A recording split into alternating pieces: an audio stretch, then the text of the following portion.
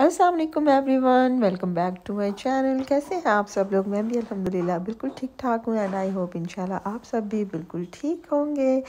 तो चलिए जी, यहाँ पे मैं आपको दिखा रही हूँ प्यारे प्यारे से व्यूज़ यहाँ पे मैं और मेरे हस्बैंड बच्चे हम लोग निकले हुए थे लॉन्ग ड्राइव पे ज़रा।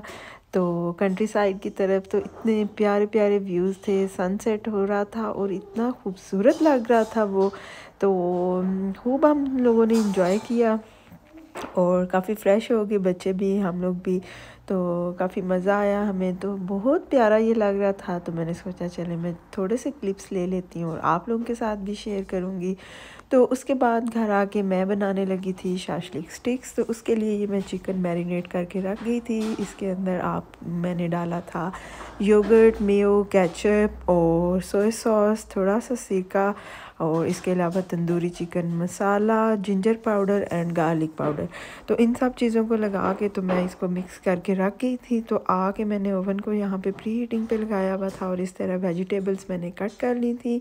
और हाँ मैंने अंदर थोड़ा सा ऑलिव ऑयल भी डाल लिया था।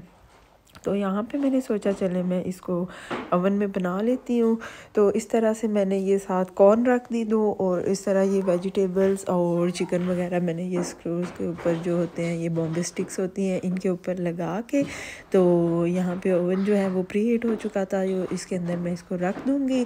और मैंने ऊपर नीचे की ग्रिल पर इसको तकरीबन आधा घंटा लग ही गया था।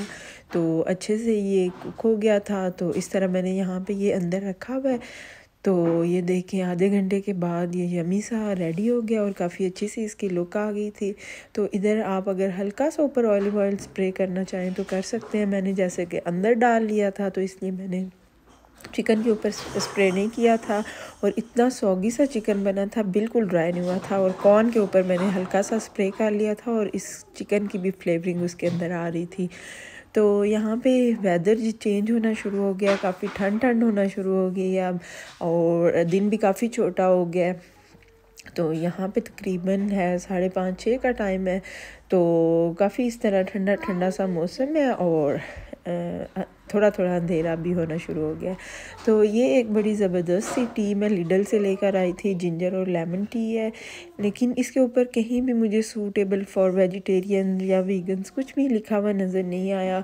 तो लेकिन इसके इंग्रेडिएंट्स भी मुझे ठीक लगे तो फिर मैंने ये ले लिया है।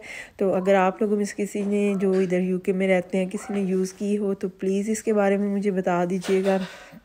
तो क्योंकि इंग्रेडिएंट्स में कुछ ऐसा नज़र नहीं आया तो और बाकी ऊपर लिखा हुआ भी नहीं है कि वेजिटेरियंस के लिए है या नहीं, लेकिन इसका फ्लेवर बहुत ज़बरदस्त है। आजकल जैसे मौसम चेंज हो रहा है तो थोड़ी गले का मसला होता है तो उसके लिए बहुत ज़बरदस्त ये रहा मेरे लिए। तो thanks for watching my video hopefully आपको ये छोटी सी वीडियो अच्छी लगी होगी। काफ़ी दिन हो गए थे, मैंने कोई वीडियो अपलोड नहीं की थी तो मैंने थोड़ी सी बनाई हुई थी, मैंने सोचा अपलोड करती हूँ और आप लोगों से शेयर करती हूँ।